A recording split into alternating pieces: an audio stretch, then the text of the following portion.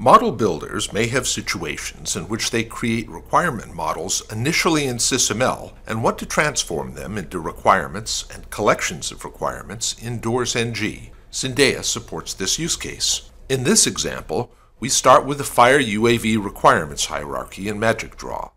As created, these requirements have only name, ID, and text, and are numbered recursively. We have also created an empty folder in our Doors NG Sandbox project named UAV Demo to receive the requirements.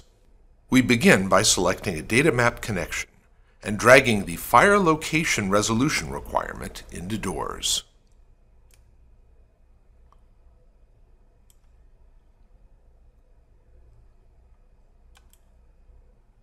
A new requirement is created in the doors folder. We can also see changes in the SysML model. Doors NG has assigned a new ID to the requirement, and this is automatically written back to the SysML requirement. The ID number is also added to the name. A Doors NG requirement stereotype has also been applied to the SysML element.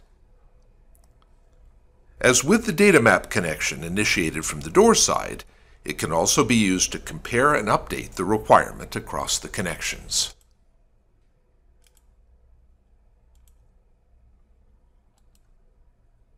A SysML requirement that contains other requirements can be used with a model transform connection to create a collection on the door side. If we select Model Transform Connection and drag Structural Requirements into the folder,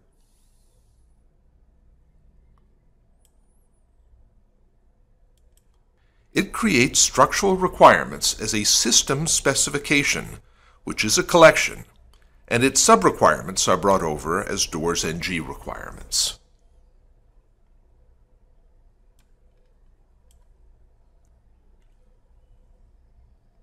Structural requirements is assigned a Doors NG requirements collection stereotype.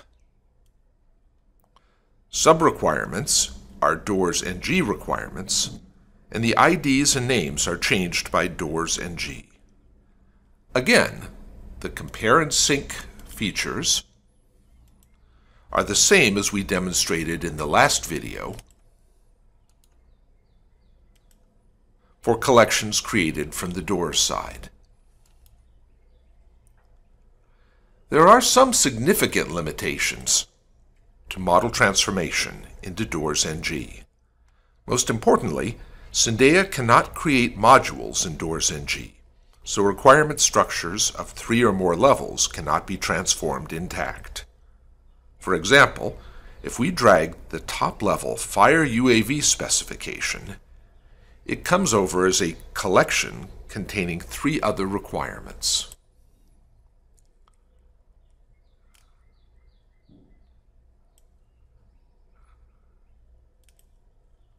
But none of the third and fourth level requirements are brought over.